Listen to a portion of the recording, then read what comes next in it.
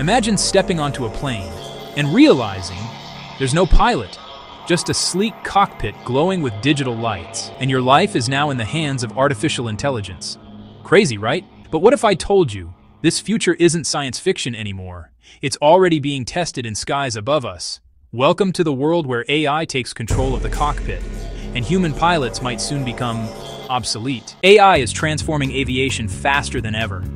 From autonomous drones in military missions to Boeing and Airbus experimenting with pilot assist AI systems. The idea of a fully pilotless jet is no longer just a dream, it's a race. Companies like X-Wing, Reliable Robotics, and DARPA are developing technology that allows aircraft to take off, fly, and land, all by themselves. But here's the question. If AI can fly a plane, does that mean we no longer need trust? Or do we just need to redefine it? Pilots aren't just machine operators, they're guardians of the sky. They make split-second decisions when systems fail, when storms hit, when a human life hangs in the balance. Can an algorithm feel that pressure? Can AI sense fear, hope, or the silence before a crash? It's not just about technology, it's about human emotion versus machine logic. And somewhere in that conflict lies the future of aviation. AI co-pilots already exist, Systems like Airbus's Dragonfly can make emergency landings, communicate with air traffic control, and even reroute flights automatically. And yet, pilots are still there.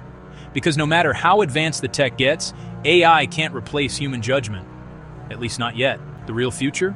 A hybrid sky where AI and humans fly together, each learning from the other. But how long until AI says, I can do this alone?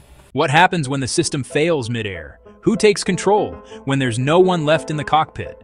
AI promises safety, precision, and perfection. But history reminds us, every great technology comes with a cost. Will the next aviation revolution be our greatest leap or our most dangerous mistake? The sky has always been humanity's frontier, but soon it may belong to machines. Would you trust an AI to fly you across the ocean? Or would you rather have a human behind the controls? Tell me what you think in the comments. And if you love exploring the mysteries and future of aviation, don't forget to like, subscribe, and fly with us at Stealth Aviation. Because in the world of flight, the truth is always just beyond the clouds.